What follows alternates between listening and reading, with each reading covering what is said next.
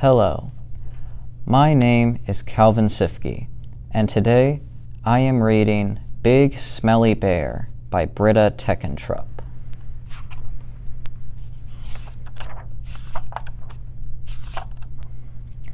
Big Smelly Bear never washed. Big Smelly Bear never brushed. Big Smelly Bear never took a bath. Big Smelly Bear was followed by a big smelly stink wherever he went. Flies buzzed all around him, but they were the only ones that ever came close. When the animals in the forest got a whiff of Big Smelly Bear, they ran away as quickly as they could. None of this seemed to bother Big Smelly Bear, but sometimes he did think that it would be nice to have a friend. Then, one morning, everything changed. Big Smelly Bear woke up with the most terrible itch. He tried to scratch his back with his paw, but he couldn't reach. He tried rolling on the ground in the dirt, but that didn't stop the itching either. Big Smelly Bear was itchier and dustier than ever. He tried scratching his back with a tree branch, but that made the itch even itchier.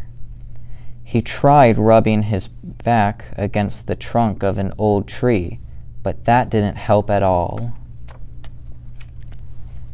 I would scratch your back for you, said a voice from above, but you are much too smelly. Big Smelly Bear looked up and saw a Big Fluffy Bear sitting in some branches. Big Fluffy Bear smiled at Big Smelly Bear. Why don't you take a bath? asked Big Fluffy Bear. Then you wouldn't itch or smell. Because I don't need a bath, replied Big Smelly Bear. Yes, you do, said Big Fluffy Bear. No, I don't, said Big Smelly Bear.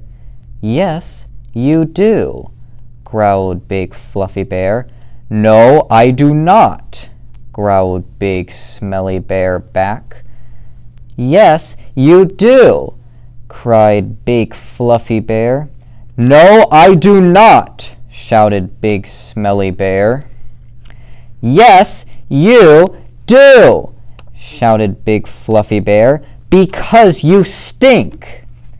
Both big bears sat quietly for a minute. Then Big Smelly Bear sighed a big sigh.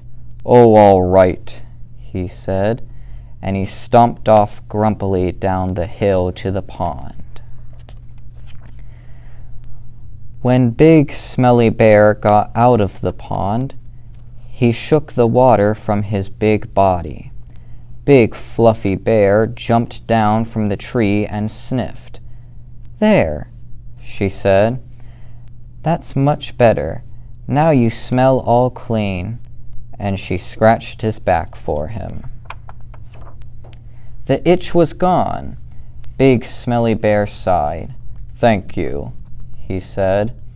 Then he gave Big Fluffy Bear's back a little scratch too I'm not going to take any more baths, said Big Smelly Bear. Big Fluffy Bear smiled, and the two big bears had a little bear hug. Big Smelly Bear liked Big Fluffy Bear very much, even though he said he would never bathe again. Sometimes, late at night, he would wander down to the big pond, and can you guess what he was doing?